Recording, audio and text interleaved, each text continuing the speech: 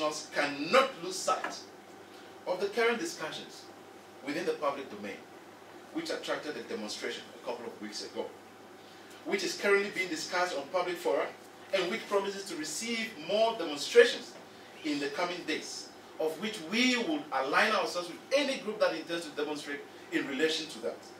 The United States of America and Ghana military deal.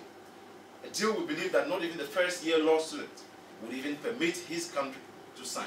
But our president is happy to have signed, to, to want to go into that agreement.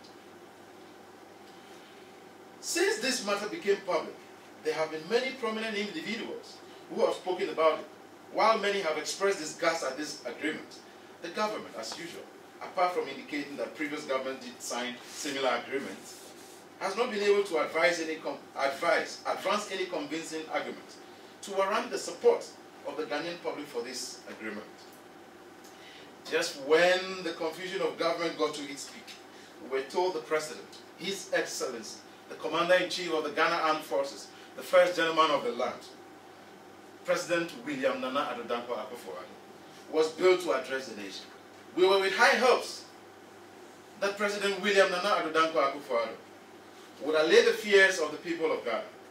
To our utter shock, the president missed a grand opportunity and rather went on an attacking spree, describing those speaking against an agreement that he himself could not convince Ghanaians to accept as engaging in anti-American sentiments. I am wondering if he was actually engaging in an anti-American sentiment when he was speaking against the Gitmo 2. Most definitely, Ghanaians did not elect President Akufo-Addo to present pro-American sentiments on issues that are detrimental to them. Our interest comes first and should always be supreme. And if for that reason it is what makes them think that we are anti-Americans, mm -hmm. then so be it. We can only say that our large government, with 110 ministers and 1,000 other appointees, known and unknown to the public and the media, has not come across this stick by the Americans themselves. Otherwise, we wonder how our government will be jumping over itself and fighting Ghanaians to ratify an agreement that is not reciprocal. In any case, we were asked to ratify it and not ratify it by the defense minister.